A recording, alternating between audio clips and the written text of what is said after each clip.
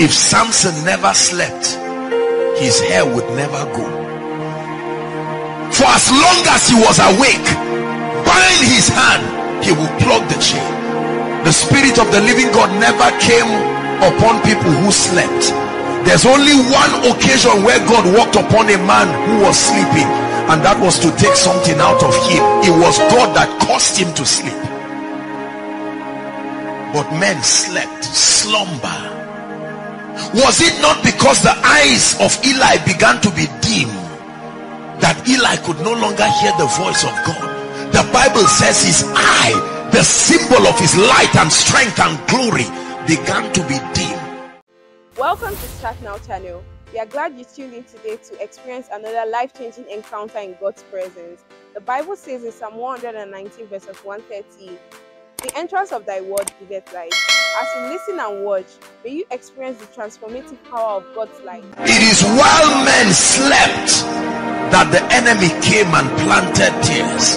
He would not come if they were awake, but while men slept, while you slept, the spirit of lust came into your life, and you are amazed that as anointed as you are, you are almost embarrassed to believe that you are still struggling with this. You would never have imagined five years ago that you'll be the one needing this prayer. While men slept all of a sudden the spirit of revelation that used to be mighty upon your life your ministry while men slept. Like Samson while men slept the glory and the symbol of your strength while men slept your prayer life went.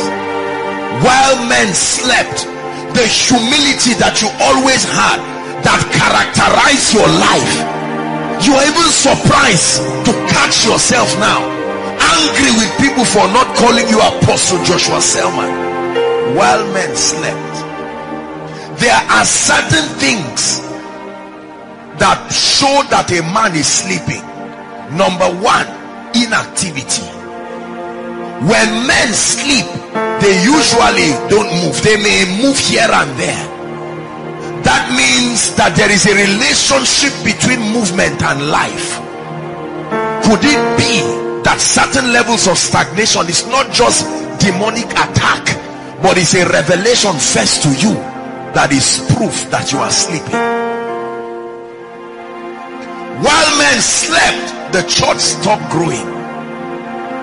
While the preacher slept members stopped coming.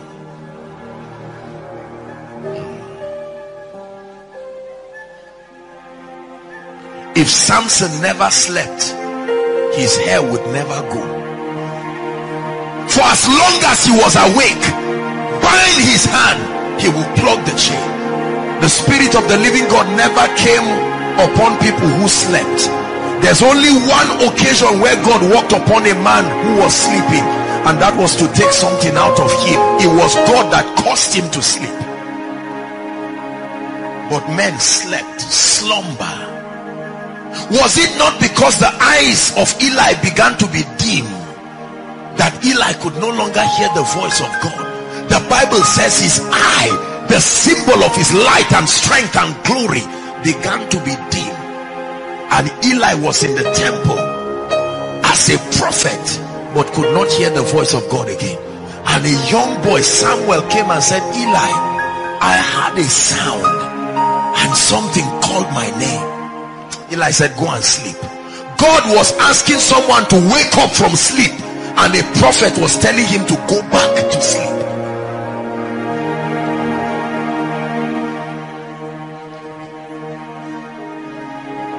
There's gonna be a great awakening. There's gonna be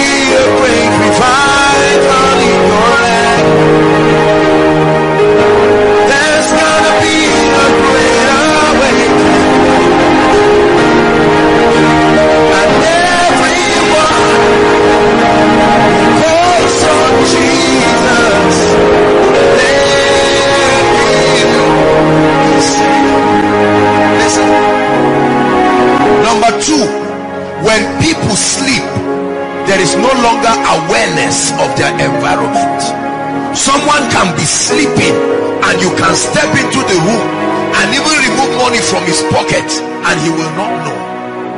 Imagine the kind of sleep samson slept that the even the the the the movement of a knife could not wake him. That was a deep sleep. At least there are some of us here that you sleep and even if the door is open you wake up that means the kind of sleep that samson slept was assisted by the devil. It couldn't have been a normal sleep. That your whole hair was being scraped. Your glory. The same way you are watching your prayer life go down and you are not aware it's a spiritual sleep. There is a slumber making it happen. Just because your eyes are awake does not mean you are awake. Awake. Thou that sleepest now is it not interesting that God is speaking to the person sleeping? So he expects him to hear him. Awake you are sleeping. So i'm standing i'm looking at jesus and jesus is saying joshua selman wake up you are sleeping. And i'm saying ah jesus i'm with i'm with you. And he says no you are sleeping. There is no awareness when a man sleeps. That's the same way the devil can be conspiring. You are a man of god and you are watching the spirit of loss come to create a barricade and you are looking as if it doesn't matter. It's not like you don't know but you don't know. It's anytime you are insensitive to spiritual things is proof of slumber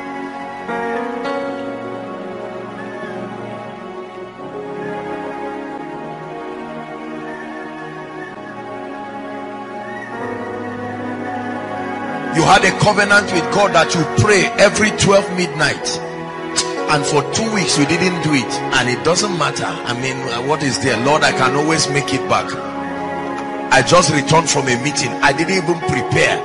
But my god did you see the demonstration of the spirit in that meeting? And people will never know. It's only you and god. Even when a plate is broken it can still hold food but it's not a justification to remain broken people don't eat the plate they eat the food so they don't know that under that plate is leaking. It's supposed to be a secret between you and God. That's the power of the secret place. So he calls you and says, my son, you are doing well, but there is a loophole here. How you know that a man has woken up is you never see any spiritual deficiency for a long time.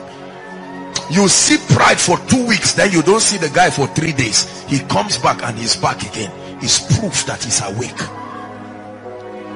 you see lost here and there but he goes on a one week retreat and returns back fresh renewal over his vision you see distraction in ministry here and all of a sudden you won't see him again for three days and he returns back with absolute focus there are many of us you've not had a retreat for more than one year. You have had a church retreat. You have had a christian organization retreat. But a time alone to say lord i need you oh, i need you. One of the ways you will know that you are in a state of spiritual slumber is when most of your life is seen by everyone. A true spiritual man less than 30 percent of your life is what should be seen by others. The greater part of your life is in the secret place. That's the secret of true power. When all of you is seen by everybody it's a sign that God is no longer seeing your face.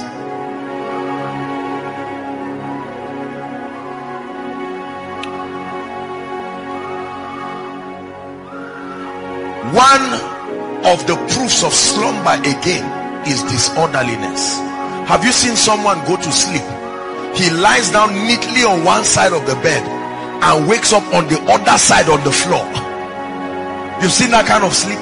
His first the leg will stretch carelessly and loosely and then the he will stretch around in his mind. He's dreaming that the bed is still elongated and he wakes up and he's at the other side on the floor. That's what can happen.